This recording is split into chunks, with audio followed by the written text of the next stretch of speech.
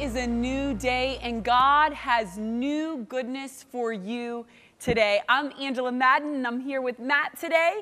Matt, we have a phenomenal program Yes. ahead of us. Yes, I love it. I'm really excited because coming up in just a moment, Tom is joined by Pastor Mac Hammond of Living Word Christian Center.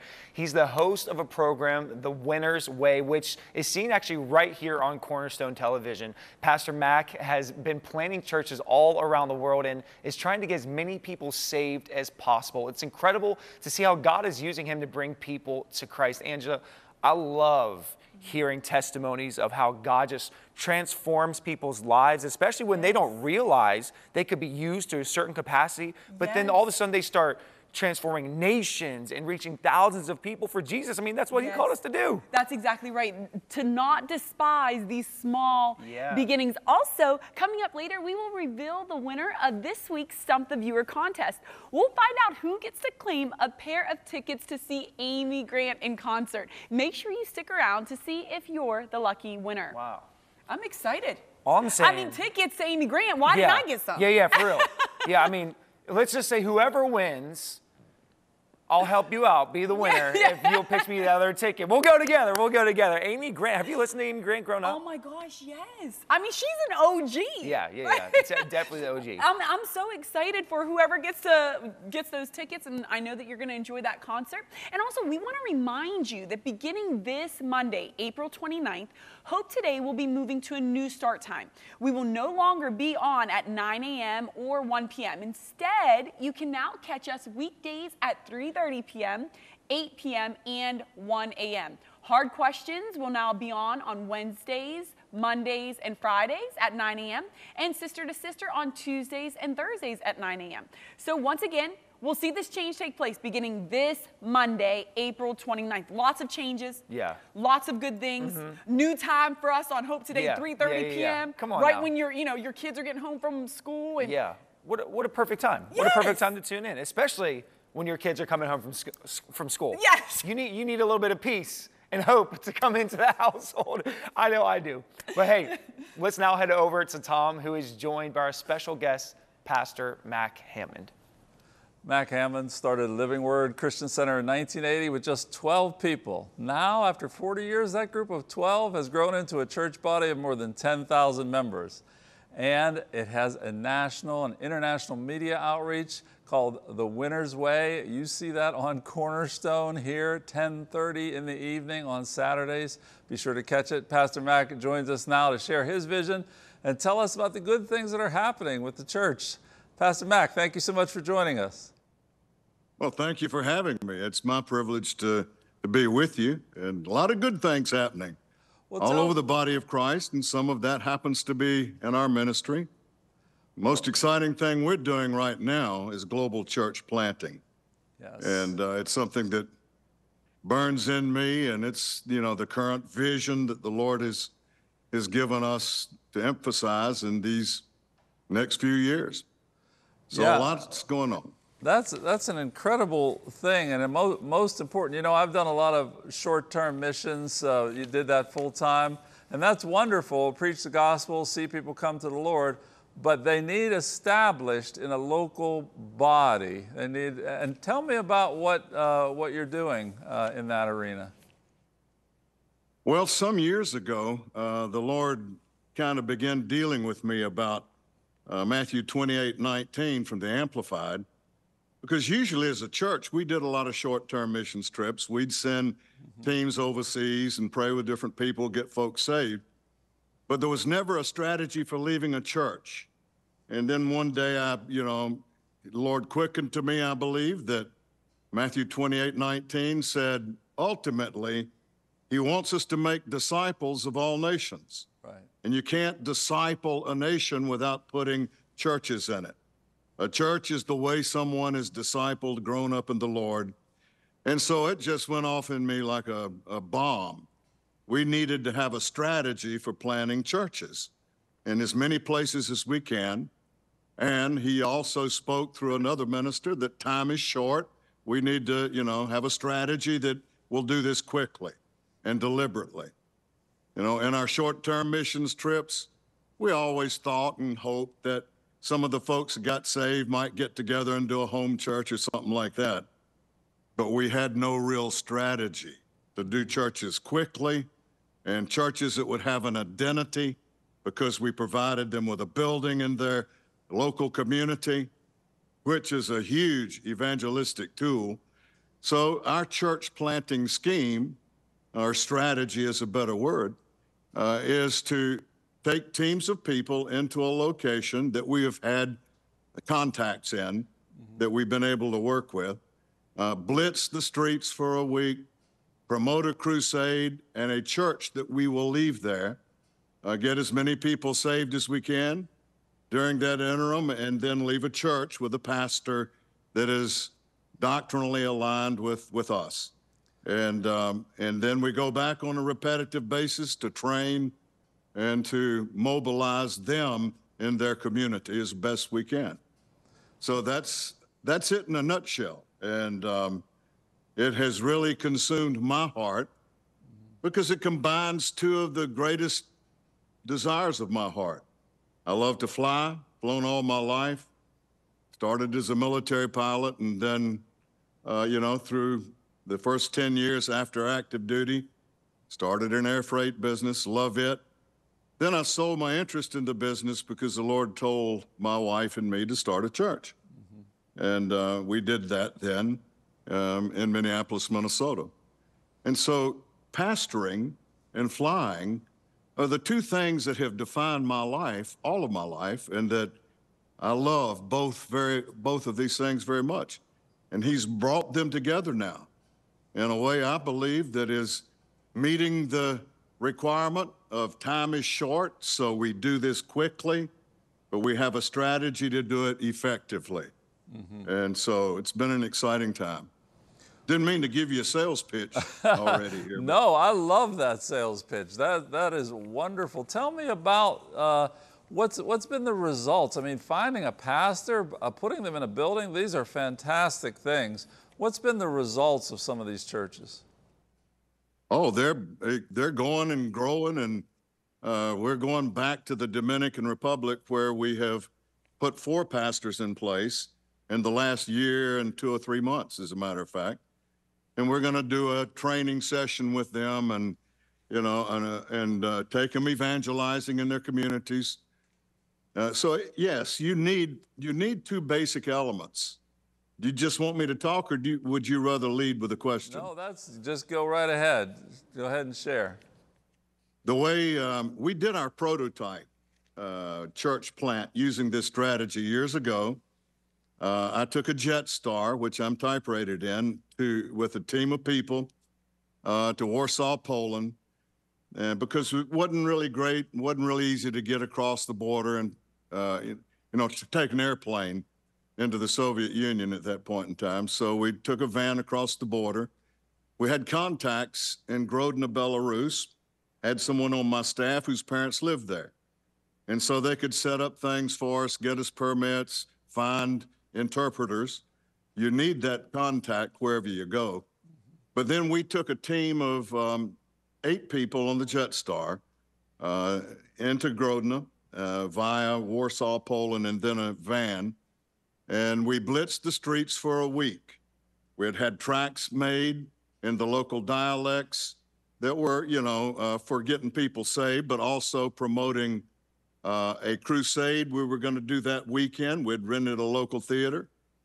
And uh, then a church we intended to leave. And so in one week, we blitzed the streets, did a crusade. It was packed out, standing room only. 4,000 people got saved. We introduced our new pastors. Uh, we had rented a building for them to have their services in, and bang. And that church is there after 15 years or more. It's doing well. And so this was our prototype. And so the key to me was to find contacts in these different nations. And we had some in our hemisphere in Central and South America. We have an Hispanic church that we started there in Minneapolis, and their pastor knows everybody. So he's, you know, we've got contacts through him a lot of places in South America. But a friend of mine is Andrew Wommack, And uh, I had asked Andrew about a year ago, a little over, uh, you know, because he's got 40 Bible schools in other countries. That doesn't count what he's got in the States, but in other countries. And um, I asked him, I said, Do you have graduates that really can't make the transition into ministry, especially ones that feel called to pastor? And he said, Yes, he does. And so we're collaborating in this effort to the degree that when we're able to focus on a different nation, different city, uh, we can utilize his graduates who live there, know the culture as our contacts, because we will need interpreters for our teams when we get there. And, uh, and of course, you know, someone that knows that, that city and how to get permits and whatnot. And so that's the basic infrastructure of the idea. So with, the, with these contacts that we are working, and sometimes we have to send down an advance team of two or three people, but, but when we're ready, when we've got everything in place, uh, we currently operate a Falcon 50. We take eight people right now. Um, we're believing for a second airplane, a 900. We can carry 14 people, but eight right now is working for us. Uh, three teams of two, each will have an interpreter when we get there. Uh, we will do the same profile. We will evangelize, witness on the streets for a week, do a large, localized crusade or meeting in a facility that we can find. Uh, we will have built a building. This is part of the process. Uh, it's amazing what the American dollar will do down in other third world nations. Yes. The first church we built, uh, we, we, it cost us $52,000 for a beautiful little 200 seat sanctuary and children's facilities underneath. And uh, that is a real evangelistic tool because the whole community wants to see what's happening Yes. at any rate. So, this is basically the overview, and I'm talking too much. No, Uh, that's. so I you mean, go ahead. It's it's a what a. I love a, the strategy that you've put together. This is something that is clearly uh, being led by the Lord, and I can imagine that those churches and those communities become such a focal point of the whole community. I've been in many of those communities myself, and to see that type of a, a church just sprout up and, and many new believers, it's got to be a fantastic uh, draw to the rest of the area. It is, and it's it's it's interesting to me that this church building we put up, you know, always or often seems to become a community center for the local community. I mean, they use it for a lot of different things, but the center piece is always Jesus Christ. Yeah. And that is a powerful way to introduce somebody to the goodness of God. Yes. So, Yes, uh, absolutely. Well, let me ask you about the program that we're going to be seeing on Cornerstone here, that we are seeing now, Winner's Way. Could you tell us a little bit about the program and uh, uh, about what's upcoming and some of the, the episodes that we'll be seeing shortly?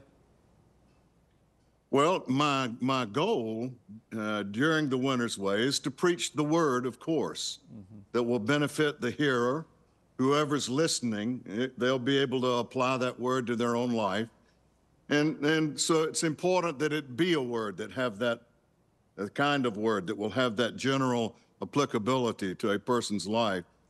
But I want it to be able to connect with what I believe is God's heart for our time for the end time church, and that is to finish the final leg of the Great Commission, which is to make disciples of all nations. Yes. This is how a nation moves from a goat nation to a sheep nation. And this is something that is particular to the day in which we live.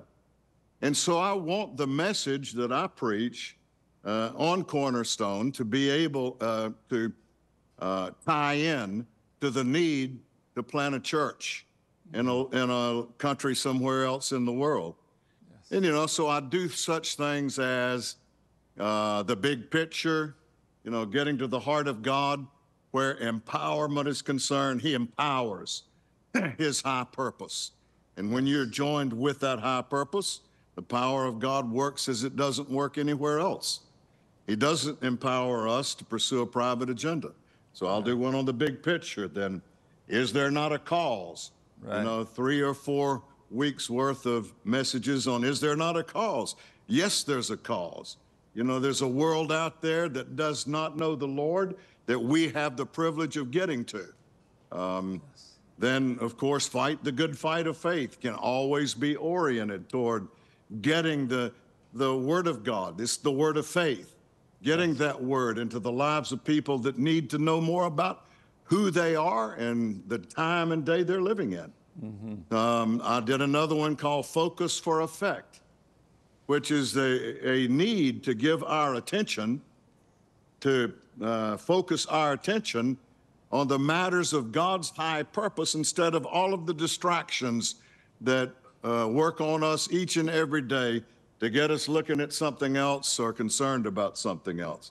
So, my goal for the broadcast, The Winner's Way, is to preach a kind of word that is applicable to anybody's daily challenges in life, but that can be especially tied to the need in this day and time to get churches planted around the world. Yes, yes. And that's on uh, here at Cornerstone for all of you that are watching. Cornerstone Saturdays at 10:30 p.m. Pastor Mac, thank you so much. Did you ever dream when you started with those 12 people what God would be doing and where He'd be taking you all these years later? I can tell you, uh, it has been an adventure in faith. And that's what it is when you say okay to the Lord. It's true for anybody. You're going to have an adventure in faith. And that's certainly what I've had. So Absolutely. Well, again, thank you so much for being with us today. Thank you for the privilege of spending this time with you.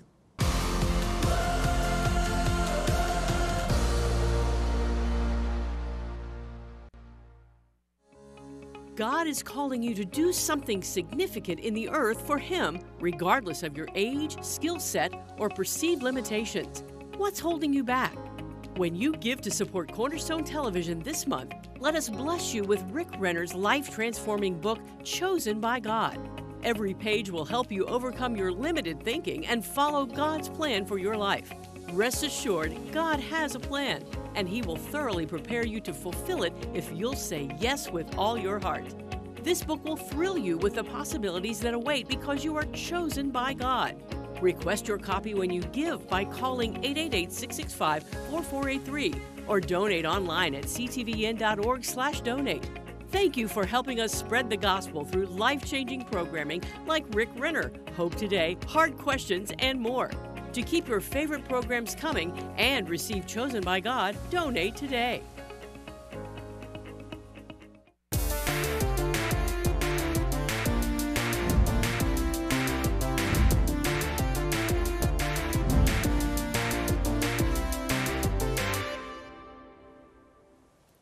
Earlier this week, we had the Stump the Viewer question for you, the audience. In case you missed it, here was the question How does 2 Timothy describe the last days? And here were your choices A, perilous, B, scary, C, supernatural, or D, confusing. Want to take a stab at the answer, Matt?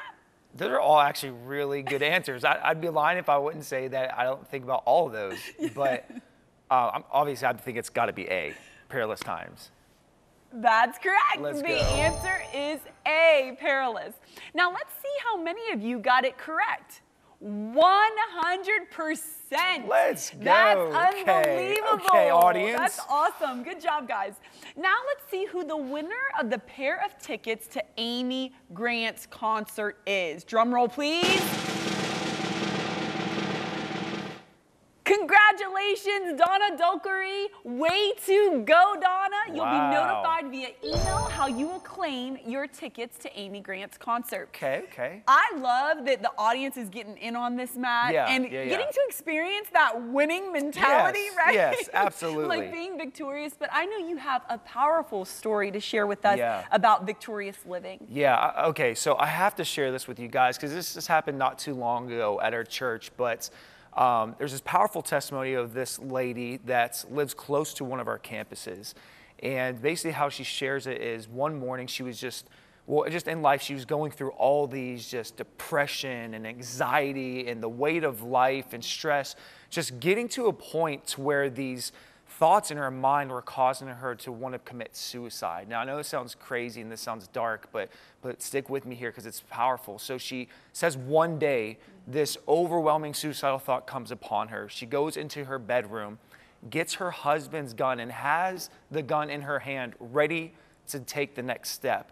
And then she says, in that moment, out of nowhere, she hears this voice call out to her, telling her to go to that church down the street, almost like this last bit of hope. And then, so what does she do? The next day, she ends up coming into the church. She mm. sits into like the second or third row. And she said, during the time worship mm. hits, all of a sudden, she gets this overwhelming just mm. sense of peace and just like this lift off of her. She said, right then and there, I mean, just a second during that time, all the anxiety, all the depression, all the negative suicidal thoughts just immediately left her. And she, she said she left overwhelmed mm. with this peace, this joy, and, and almost like a, a flick of the switch, everything in her just changed. This is where it gets even more powerful. So she, she receives Jesus into her life, has an encounter with him in his presence. Then the following Sunday, she brings her husband and her son, and then they end up getting saved. To where now to this day, her whole entire family has been transformed and is serving in, in the house of God. And why am I sharing this story? Because we all might be able to relate in some sense or form. I remember in my life when I hit rock bottom, an all time low. I mean, I'm getting laid off from my job, uh, my, my parents are separating. Uh, at, at that time, my house almost burns down, and I turned to everything I kind of knew how to other than God. And it left me so unfulfilled, right? It left me so hurt and broken until I had this encounter with God. It changed everything, everything in my life. The way I thought, the way I acted, the way I responded even to different stressful moments in my life. And I want to encourage any of you out there watching right now. Maybe you're just at this standstill point. Maybe you have questions going on. Maybe you're even on the verge of wanting to give up, to give in, to quit. Can I just tell you, there is hope. And in one second, everything, honestly, in your life can transform and change. How does that happen? It happens by simply saying yes to Jesus, receiving Jesus into your life. I'm not saying that all of a sudden things around you might not get better immediately, but you will be able to conquer them. You will be able to see them differently because the Bible tells us that uh, He is the vine, we are the branches, and if we remain in Him, then we will bear much fruit because apart from God, we can do nothing. Can I tell you, if you haven't even thought about that, it's a question that you have to ask yourself. Do you really have God in your life? Have you received Jesus as your Lord and Savior? Please take it from me, not having the time to be able to share with you my testimony, but someone who has searched for everything else. And those moment I found Jesus, everything changed for me. If that's you this morning or, or this afternoon or this evening, late at night, whenever you're watching this, can I just encourage you just to say this simple prayer with me? And I believe if you do so, your life will transform from this moment forward. Just simply pray this with me. Dear Jesus, today I choose to receive you into my heart. I confess with my mouth that Jesus is the Lord of my life, who came, died on a cross, and defeated it so I can live in victory. Today, I choose to follow you and to never be the same. In Jesus' name, amen. Listen, if you prayed that with us and, and maybe you're wanting to learn a little bit more, please call us. We love to pray with you at 888 665 4483. Today is the biggest and best decision you could ever make. Angela, I truly believe that for those out there that have received Jesus in their life, this is a big deal. It is, and it's beautiful. I love that you shared that story, Matt, because she came to realize God was real, Yes. that He was bigger than her circumstances, mm. that He was enough to keep her broken pieces together and to make her whole. And you know, Matt, I think that a lot of times when we're going about our day-to-day life, we don't mm-hmm. we don't really conceive or, or get our mind wrapped around this idea that this huge God is Yeah. intimately involved in our lives, Yeah, but He yeah. is. Yeah, absolutely. Well, I think it's just because everything competes for our attention. Yes. You know, and, and, and because of that, you start to have these doubts and thoughts. Why this? Why that? But that's why the Bible tells us, right, to lean not on our own understanding, but in all our ways to acknowledge Him. I think when we can, when we can truly get ourselves to a place like that, that's when we have peace, right? Yes. That's when we have clarity of just saying, you know what, God fights my battles. Yes. You know, I can't do this in my own ability. He truly is with me, though I not, I might not see Him. Man, He works all things out for my good. He does. He works everything out for your good. He is a God who loves you. He is a God who wrote his story on the tablet of your heart. That there is no place you can go that God won't see you. You can make your bed in the depths and he's there. You can ascend to the heights and he is with you. No matter what you're facing today, it is our desire and God's true design that you would experience victory coming and going. You may not feel like you're on the top or that you're the top dog, but God has goodness prepared before you. Jeremiah 29 11, for I know, declares the Lord, that He's got plans to prosper you, not to harm you, for a future and a hope. Listen, we are here for you, and we love walking this journey with Jesus with you. So please reach out. Like Matt said, give us a call here or email us at prayer at ctvn.org. And before we say goodbye, we want to remind you that beginning Monday, Hope Today will now be on weekdays at 3:30 p.m., 8 p.m., and 1 a.m find a place to make us yours, to make us at home, to, to give us space there that you may encounter Jesus and find hope from moment to moment. Listen, God does not want us to do this life alone, mm. and that's why we're here with you. God is in the boat in the midst of your storm, and He's with you, rooting you on and cheering you on to your greatest days. No matter how dark it might seem, remember, there is always hope today.